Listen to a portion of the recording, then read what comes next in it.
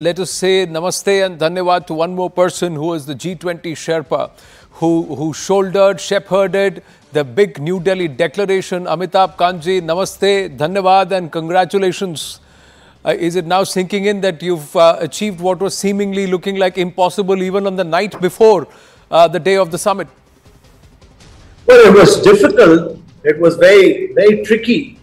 But uh, I think uh, as a team, we've managed it, and it's been largely possible uh, because uh, uh, of India's great stature today, and because of uh, uh, the Prime Minister's own, uh, you know, his credibility in a democracy being very high.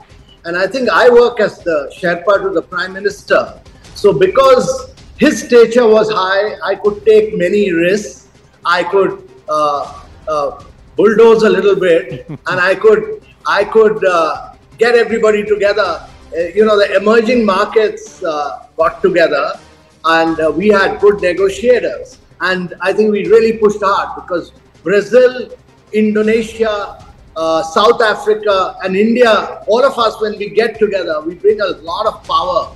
And then uh, I realized that as we went along, Saudi, Turkey, Argentina, Mexico all joined us to say that we will not allow G20 to be wrecked.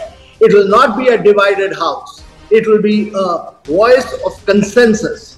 And that brought everybody together. We had many challenges while we were negotiating. Uh, and in the final stages, I think it went up about minimum 15 times up and down, up and down, up and down. But I think uh, we were just fortunate to have clinched it. So I think uh, it was, to my mind, I give a lot of credit to this because of the elevated uh, stature of India and also because I was working as really the Sherpa of the Prime Minister. His, his personal credibility was very high and I could pull it off. Uh, Amitabh ji, uh, Dr. Shashi Tharoor has been quite lavish in his praise for you on, uh, on, on Twitter. He said the Foreign Service's loss is the IS's gain and that uh, he hinted that even the night before uh, it was not ready, but it eventually was. Uh, is that true, if I may ask? Yeah, that, that's true. Actually, we got into the final round of negotiation at about 11.30. next day morning was the leaders' conference and uh, there was just no time, but we took it to brinkmanship.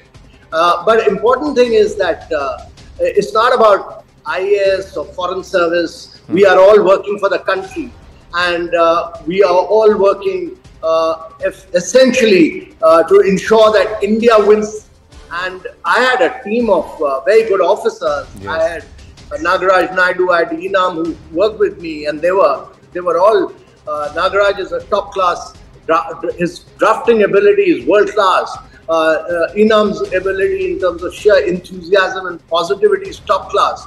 And then I had sitting right and left to me uh, the Brazilian uh, Sherpa, mm. who's, who's a renowned diplomat, and I had Zane, who's a South African Sherpa. His skills on international law are, are truly outstanding. So all of us, and then I brought in Jani, who's the Indonesian Sherpa. Hmm. All of us work together as a team. Uh, and eventually, it's not just uh, the Prime Minister. His, he, you know, it's hmm. not just the Indian Prime Minister, but it's all four Prime Ministers, their stature counted. So Prime Minister led from the front, and then we had the courage to say that uh, uh this G20 must be a G20 of consensus. That's what the Prime Minister had told us. And hmm. therefore, we made it a full G20 of consensus.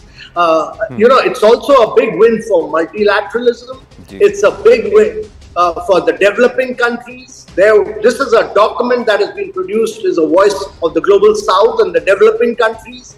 Uh, it's loud and clear on that count, hmm. and it's uh, it's really a voice for growth and progress and it's it's a call for peace in many ways.